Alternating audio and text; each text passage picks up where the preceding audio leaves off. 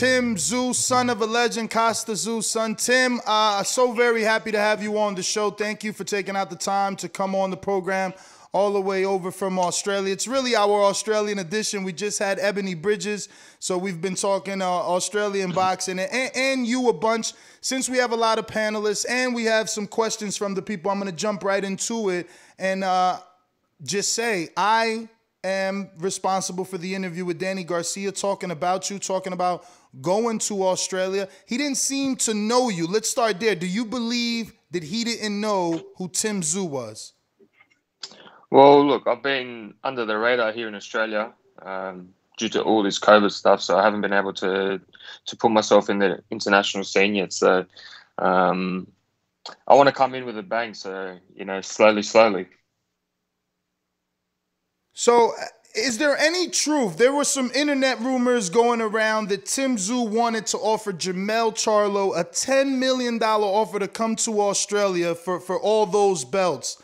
Is there any truth to that, or was that just the internet chatting about? Man, I'm not too sure. Um, my promoters do their thing. Um, I'm not sure where that figure came out with $10 million. Um, it's a lot of money. so you think it's a lot of money for a Jermell Charlo? I mean, he has four of the belts, right? I think he has four of those belts, Tim, in your hometown. Yeah, I think so. But look, um, at the end of the day, he's not a Manny Pacquiao or Floyd Mayweather or Canelo Alvarez. Um, the reason you ten million dollars that that has to be able to sell money, and um, you know the only three names that come to my mind is, is is those guys that can sell that much type of money. So when you announced on Twitter the other day that uh, you look forward to fighting Castano, was it because it's easier to make because you're number one in the WBO, or because you've seen the performance and you think you can capitalize? Oh, look. Um, first of all, I am. I want to become mandatory for, for the WBO title, which which will mean that Castano's the the man to beat. Um, and second of all, I think I do have the tools to beat him, even though he put a, a great uh, performance in. Um, you know, styles make fights, and I believe I've got the, the style to upset him. Uh, ladies or gentlemen, you can jump in. If not, I'll go to the people's questions. Really on you guys. Yeah, uh, Tim, go ahead. Go uh, ahead. I, I want to ask you this question here because like, even the way you, like you're introduced, or the way people talk about you, it's always the son of the legend, Tszyu. A lot of us were big Kostya Tszyu fans, right? How do you balance like being proud of your father and, and embracing that legacy, but at the same time not being under his shadow, becoming your own man? Like, like how, how are you balancing that as a fighter?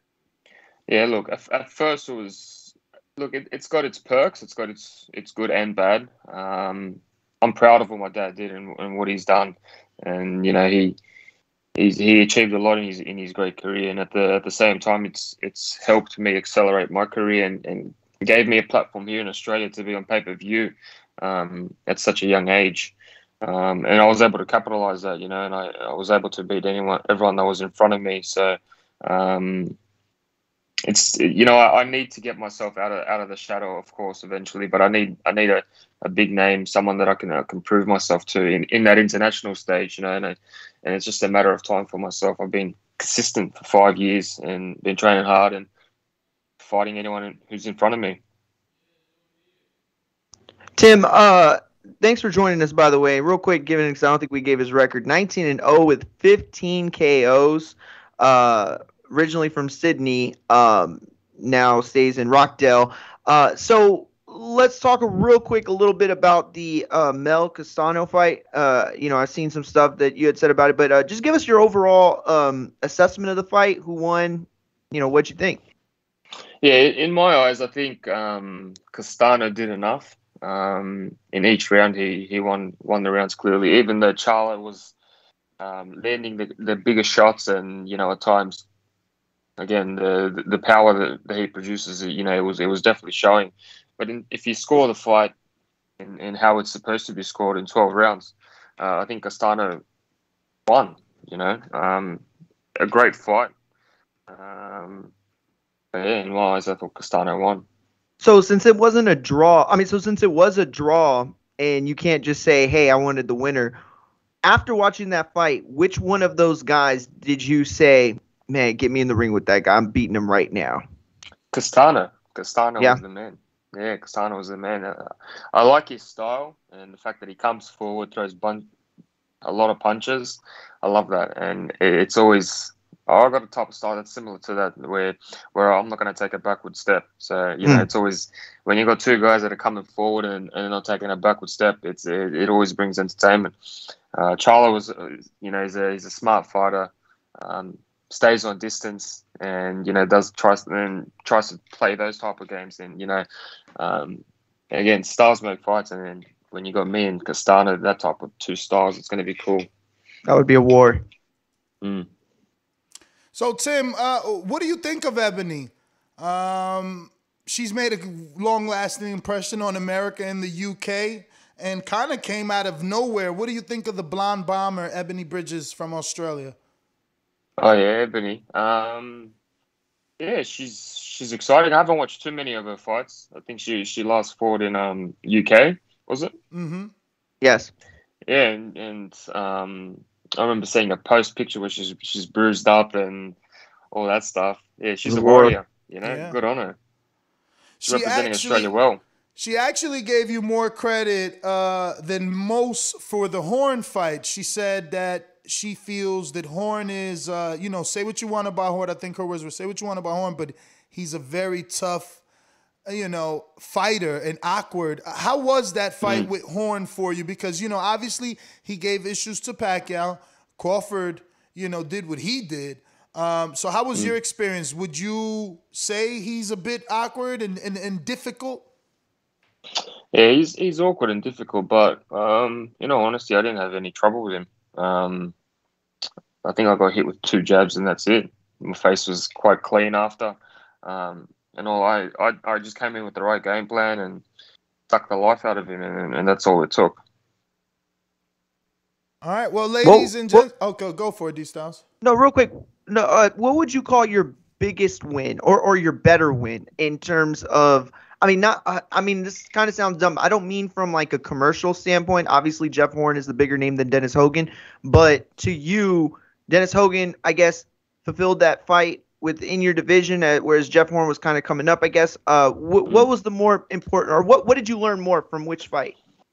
Um, I think with Hogan, um, That's what I was thinking too. Yeah. I was I was comparing myself because Charlo fought Hogan as well, and then if you, Yeah. if you watch after after the fight, um, Hogan still wants to continue on once um, Charlo knocks him down, and then with me, he was he didn't want a bar of it. He as soon as they threw the towel in, he was you know that's it. I don't want I don't want to fight anymore. Mm. And there's two different types of styles. You can jab your way, Definitely. you can land you can land a cleaner shot, or you can actually put someone into a position where you know I, I don't want to fight anymore. I don't want to. I don't want to do this anymore. And that's the position that I I put my opponents through. Just a quick follow up. So when Mario asked you about when you watched the fight, you said, you know, did you say to yourself, okay, I want to fight that guy? When you say you like Castano's style, do you? and- And I know you mentioned it would be a great fight. It would make a great fight. Like, are you saying you would have a more exciting fight with him, or is he more beatable? Like for your style, like what, what did you mean by I- that? I think the fact that it's going to be an interesting, interesting fight. Um, I've, I've, you know, he's he's full of different surprises that I haven't fought that type of style yet, and, and that's I want to test myself with that. Um, with Charlo's style, it's very slow. Um, there's not much output. Um, he's very strategic. He he plans certain shots and counters certain ways, uh, which I'm I'm for I'm down for. Um, but but with Castano, it's it's it's an interesting fight because you know the, the shots are unpredictable and, and and that always brings out a good fight. I've got a question for Tim. Tim, this is uh, Maestro. Um, your father was one of the last great fighters to represent the Soviet Union as an Olympian, and his style was described as a Soviet style. How would you describe your style? Oh look, I got a I got a mixture. Um, my my coach has, has gone through my dad's career, so I guess it comes from the same boxing school, um, and you're taught the same exact stuff. Uh, but look, you at the end of the day, you you create your own style and do do whatever do whatever it takes. Uh, for myself, Um, I feel like I got a bit of that, that Mexican type style in me, where it's walk forward, um, eat the eat, kill him with the body shots, get him with the head, and just suck the life out of them, and um, you know use certain shots to to break them down. Uh, I'm gonna go out to the people. San Antonio, James Valdez. What's the backstory on the nickname the Soul Taker? That's a, it wasn't from me actually. It was um, it was from uh, from the commentators uh, in Australia. But I used to I used to tell my opponents, you know, I'm, I'm here to take your soul. I'm here to, to put you into a position where you're going to quit and where you're going to say no no more. And that's that's where it came from. Cool, cool. Next one is from Steve in the UK. Says, Hi, Tim. Thanks for coming on the show. Your dad used to rock an awesome ponytail. Have you ever thought about bringing that ponytail back to keep Yeah, the man, Tszyu that's- that's family? not in, fashion, not in fashion anymore. Yo, I remember him for that ponytail. I bro. do too. I do too. That's a good question. That Absolutely. did. That did. There was make rumors that that's where the power came from, right? Oh, like Oh, the Power and the Bible. Pony. I wouldn't be Yeah, surprised. Power and the Pony.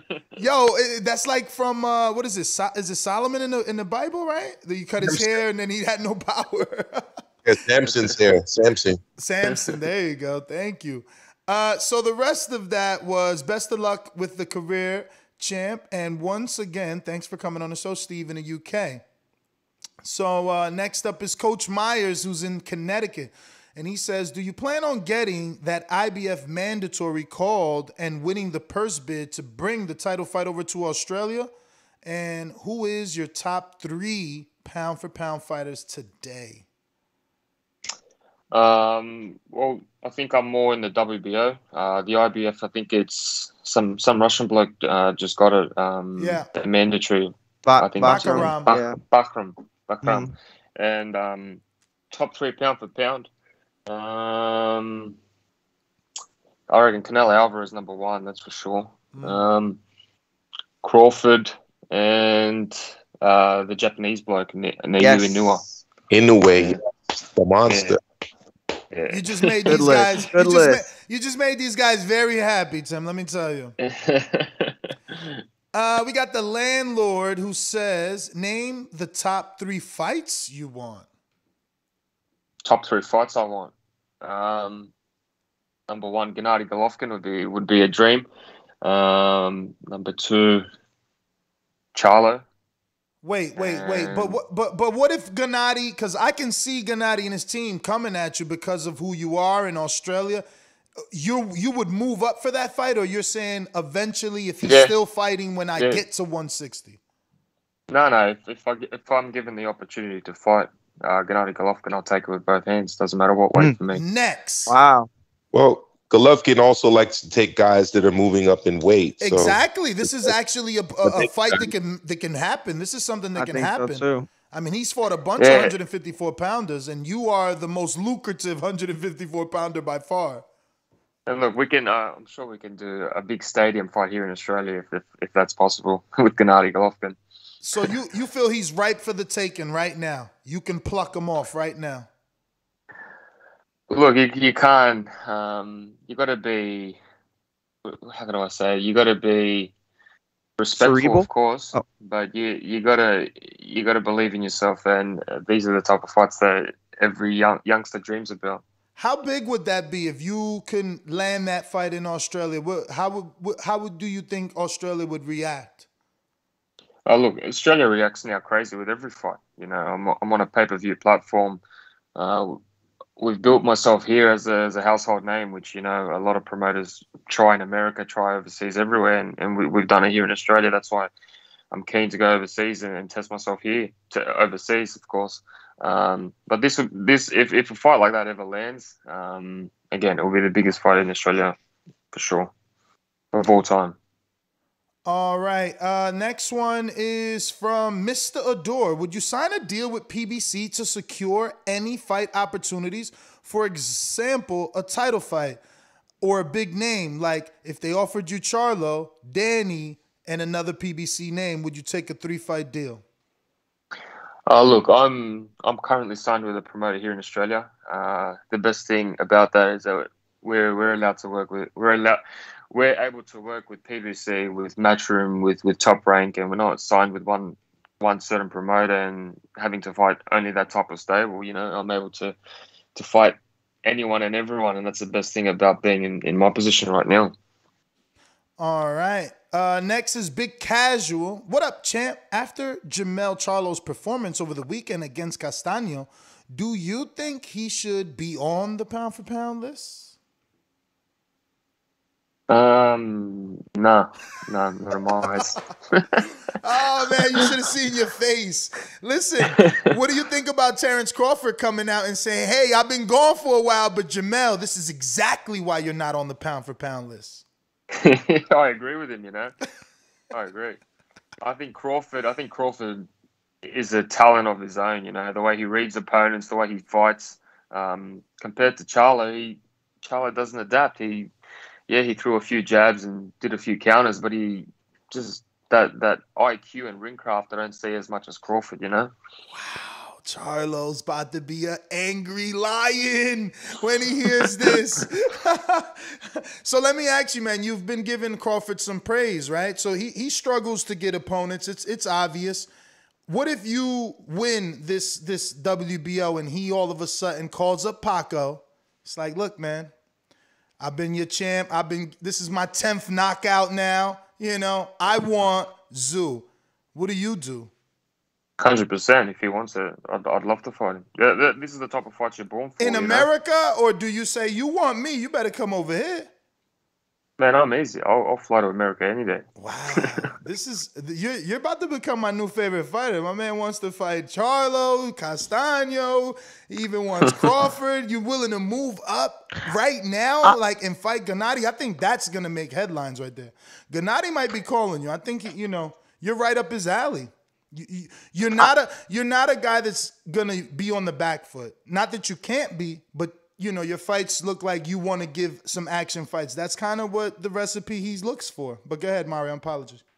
No, no. Uh, I know this is like a hard question to answer, and it's probably not even worth asking. But just based off of everything you know, the economics for a fight against a Crawford type, do they? Do, is it a guarantee that y'all make more money in Australia because you're, I mean, a household name, like you put it. Whereas Crawford fights in a sport in America that is a niche sport. You know what I mean? It's not part of the top three.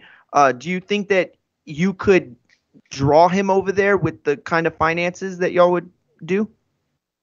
Yeah, it could. Well, look, Manny Pacquiao came here. So yeah, that's um, exactly. You know, and um, look look at what Anthony Joshua does in the UK. You know, um, again, household names, and, and um, unfortunately in America, these guys aren't hard, household names. You know, because the, the, sport isn't as popular. I don't know what the reason is for that. Um, but here we I've, I've become a household name, and and the fact that um, we can get fighters like that into a stadium, I think it's you know a lot of fighters can can fight in front of different different arenas, but to, to fight in a stadium with, with, with screaming fans or in in a whole stadium, I think that's an experience on its own.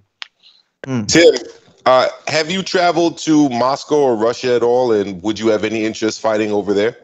Oh yeah, it's it's been a dream of mine. I've, I've traveled all the time there, but yeah, it's been a dream of mine.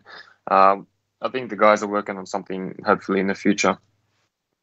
Mm, awesome. So, so hey, a big, let me jump base there. Yeah, sorry, go ahead. Is that future fight with Karabanov? Because I know you've been linked to Liam Smith, and now that he lost in Russia, are you trying to see what happens in Russia with Karabanov? Yeah. Oh wow. Yeah, I think I, I think that will definitely be happening in the future. That's for sure. Man, Tim, this is our first time talking, but you're pretty like ballsy, huh? Oh man, you know what? I'll fight anyone. Um, I, I, feel like I'm an old school fighter these days. People pick and choose, and uh, certain promotions choose their own fighters. You know, you got at the end of the day, you just you just got to be out there to fight everyone and anyone. You know. Is this the first time you verbalized the Gennady Golovkin thing? I'm just so shocked. Not only that no, you no, do it, they they've spoken about it before. Actually, uh, it's just always been a dream of mine. That's that's my that's my all time dream fight. Man, I feel like that can happen. I think we need to say that a little bit louder. We got Ryan O'Rourke mm. in Liverpool. How close are you to a Liam Smith fight? I hear that you want him next. Have your team made an offer? I'm a Liverpool guy myself, so I love the Smith brothers with all three done in boxing. Did you think Liam beat Karabanov like I did? You're the A side, so why pick a dangerous opponent with no reward? That With against Liam Smith. I mean, I'm assuming he's talking about Karabanov because he beat Smith, but he did ask, All right. "Are you linked to a Smith fight?" Yeah, we were supposed to fight actually. Um, the my promoter was in the talks with with, with Liam Smith's team. Uh, I'm not sure what happened, uh, if it's fallen through or it's, if it's still going bubbling along. Uh, but hopefully that does fight. Yeah, gets gets done in the future. That's for sure. Brandon in Houston here in America says, "Are there any active fighters who you got out of your way to oh go out your way to watch? Excuse me. Anyone who you consider a can't miss fight fighter to watch?" Um, Canelo Alvarez. Wow, no tank, huh? Oh, I love Tank Man. He's a beast as well. I forgot all about him actually. Yeah, Tank Man. So, um, I don't know if you know, Leonard Ellerbe said the Tank could possibly do a welterweight pay per view, and he said a big, I quote, pay per view at 147. Who do you think Tank can pluck off right now at 147? Ooh, that's being a bit ballsy there. Um, Yeah. who who are the champions there? Uh, Well, I don't think it'll be a champion, but if you want champions, it's Crawford. Errol Spence has two belts. Crawford has one, and Ugas has another. Then you got Sean Porter, Keith Thurman, uh, Jaron Boots Ennis, Virgil Ortiz, Conor Benn. I mean Samuel Vargas. Or, you know those type of names. Amir Khan is there.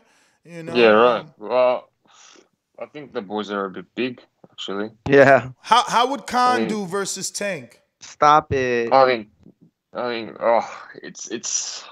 It's a ridiculous question. You're right. Yeah, Khan- I can't Khan even kills him. it, Let him answer, Yeah. Mario. Mario's trying to. I- he's trying. He, to, you know what he wants to say. I he- mean, why are you look, trying if- to influence if- him? if Khan's got his chin up, then he's gonna be he's in for for trouble. But you never know. Listen, Samuel Vargas put yeah. Khan down. If Tank touches him, who knows? So um, another little crazy thing is Andre Berto just appeared on the WBA top 10 rankings, Tim. Top 10. He's been inactive for four years.